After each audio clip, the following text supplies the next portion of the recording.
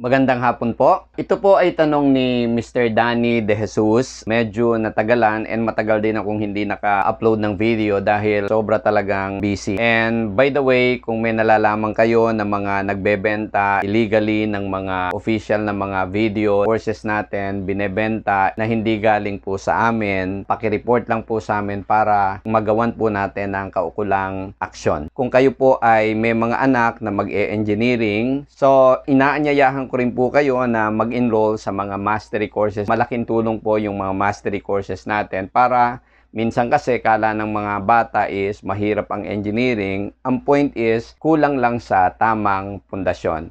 So gumawa po ako ng mga courses para po mapadali ang pagkakaintindi nila, lalo na po yung nasa pundasyon pala. And inaanyayahan ko rin kayo na may mga subjects tayo na kung nahihirapan ka sa isang mga subjects, meron tayong tinatawag na mastery courses. Nagkakahalaga lang po to ng 1,000 per course. Malaking tulong po, mas mapapadali po ang pag-aaral nyo. Doon sa mga nagre-review din po para sa master plumber, sa civil engineering, meron po tayong review na ginawa ko po itong mga online sa kayong face-to-face natin upang matulungan ko po na ang lahat ay makapasa sa board exam. So, simulan po natin itong discussion na to, no? According to this question, uh, we have here a cow that is tied by a 10 meter string, no, or a rope. And the rope is anchored or is attached at one side of the 10 meter diameter cylinder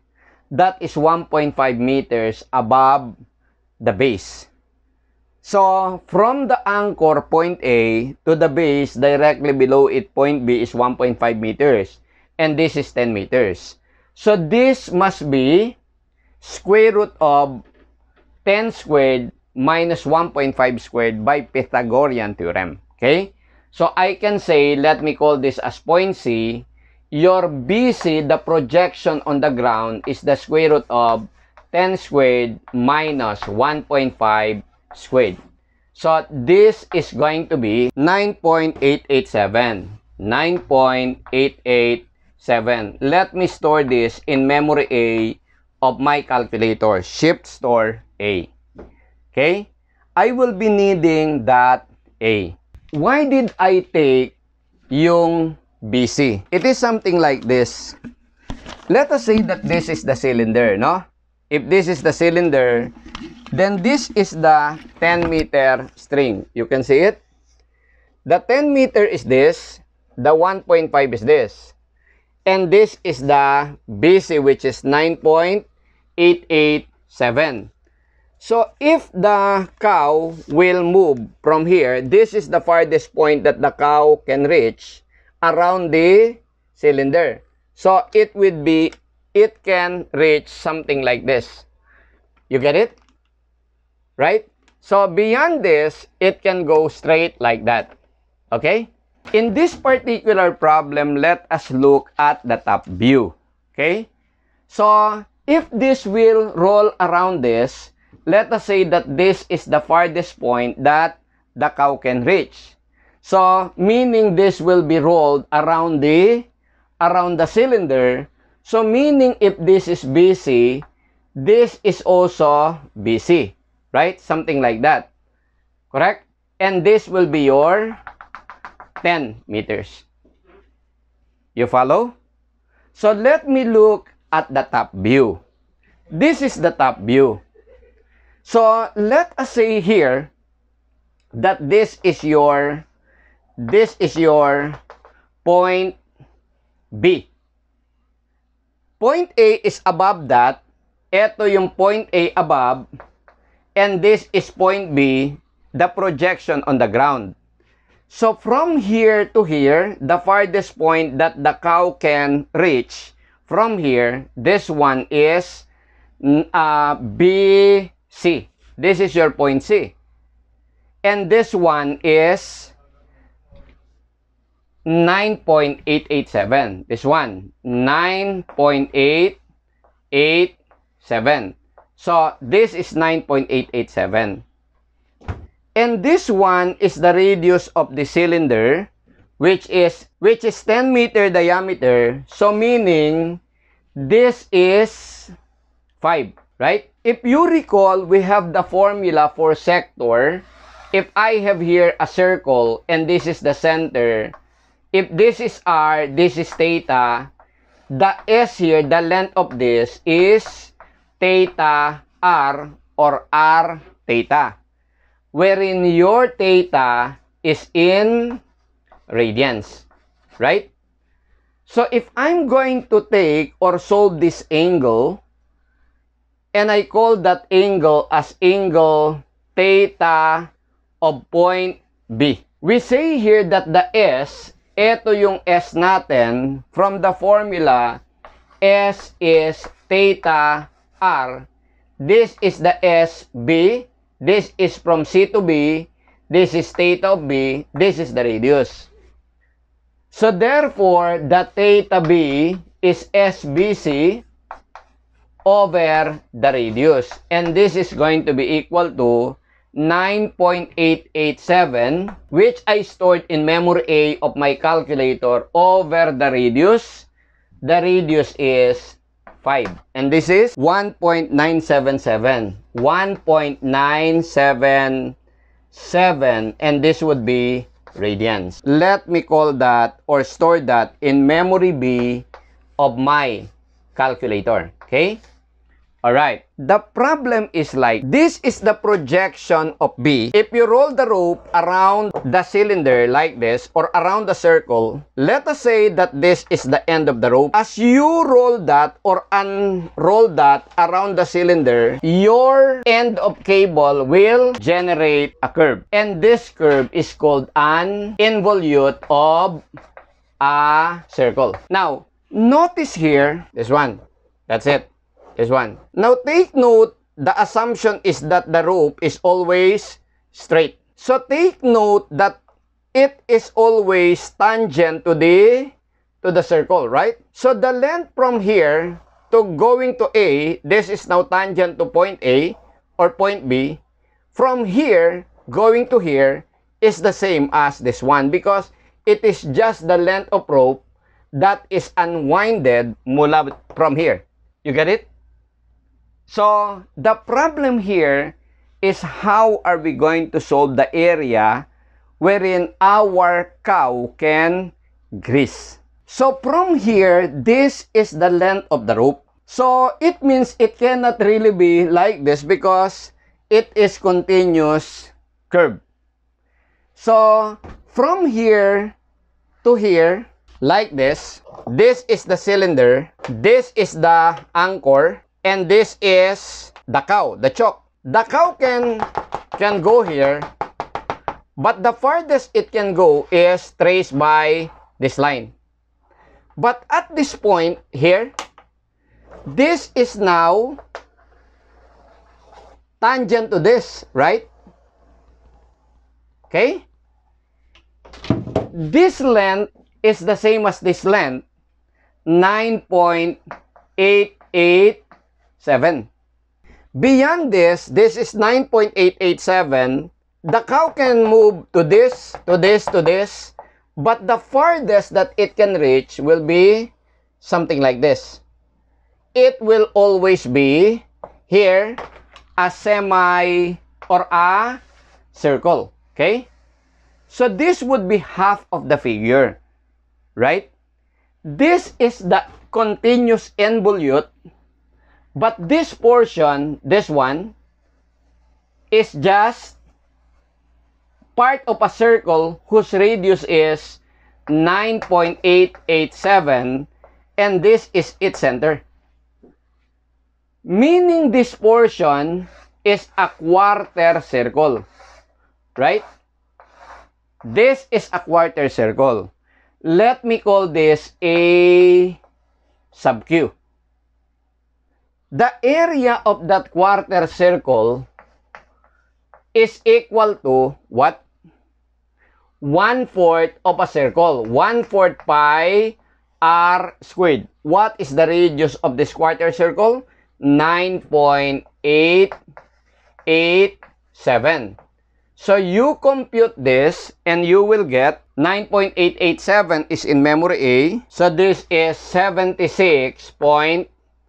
773 and this is meter squared. This one. This one. So that the total area is going to be twice the area of the quarter circle and the area of this. Okay? So how do we solve this area?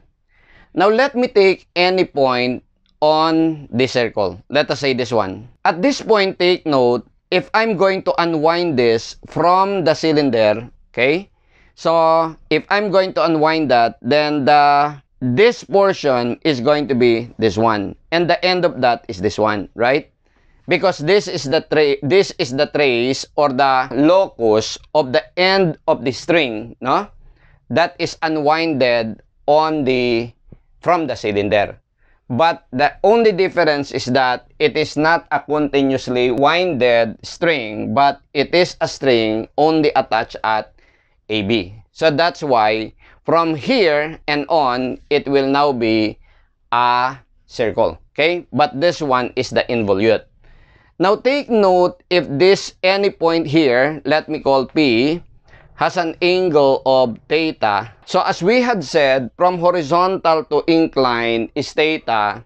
So from the normal to vertical is also theta, right? But this has no real significance, no? So this is also theta.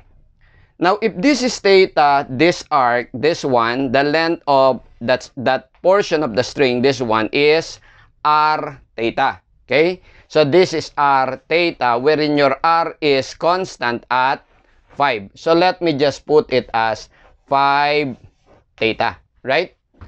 So if this is 5 theta, this one is also, this one is also 5 theta. That is r theta. So that is the length of this. Now, if I will take another point very close to that, okay, and draw a tangent here, So I will be having here this differential area. That is now the key. So this is now differential theta. If you recall, for the area of a sector, the area of a sector here, this is S is theta r. So, and the area is theta over 2 r squared. Okay? In here, take note our final theta as we had solved here. This is your S, the length of the string, 9.887. From the formula S is theta R. So we have theta is S over R. So 9.887 over V or over R which is 5. So we have 1.997977 radian.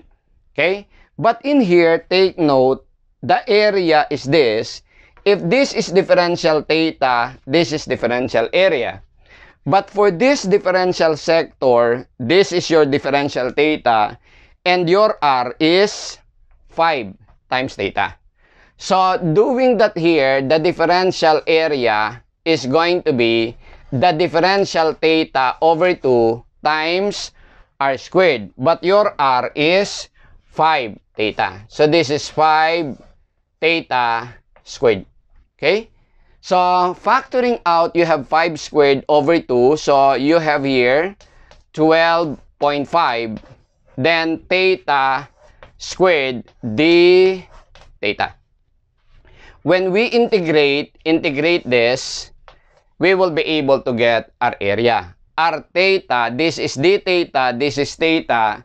So, the limits must also be theta. So, at this point, at this point, theta is 0. At this point, here, theta is what? Theta B, which is 1.977 radians. So, the unit of this must be radian. From 0 radian to 1.977 radians. You try to integrate this in your calculator. So, you will get here 32.196 or 2 and this is square units. So this is the area of this involute, okay? So therefore, our total area, the total area that the cow can grease is going to be equal to or can pass can be pastured is going to be 2 times this area. Kasi this is just one half of the total area. So therefore, this is going to be area of the quarter circle 76.773 plus 32.2 quantity times 2. So the total area is 217.94 square units. Or since this is in meters, I presume, so this is square meters. This is the area that this cow or goat, whatever is that, can uh, be pastured or can uh, graze, no? Okay? So, yan yung mararating or kayang kainan o puntahan nung cow. So, I hope uh, this uh, discussion help. Just in case meron kayong mga question na pwede akong makatulong sa inyo, then I'm willing to help you. And by the way, so pag may nalalaman kayong illegally nagbebenta ng mga materyales, uh, specifically sa sa amin yung materials na uh, ginawa ko, no? Binebenta sila or illegally kinapi or illegally distributed kahit hindi binebenta, sineshare. Paki-report lang po sa amin, no? And we think na yung pagka-down ng Facebook namin has something to do with the legal action na ginawa ko dun sa isa sa mga nahuli namin na nagbebenta, kumopya illegally at nagdi-distribute illegally nung materials namin. So, thank you and God bless you all. Are you preparing to take the CE licensure exam? Here in Padilla Review Center, we offer online review for civil engineers and variety of other courses. Enrollment is ongoing. Visit our official website to enroll. Are you struggling with your major engineering subjects? Let us help you out. Here in Padilla Review Center, we have subject mastery courses you could enroll for 1,000 pesos per course. What are you waiting for? Enrollment is ongoing.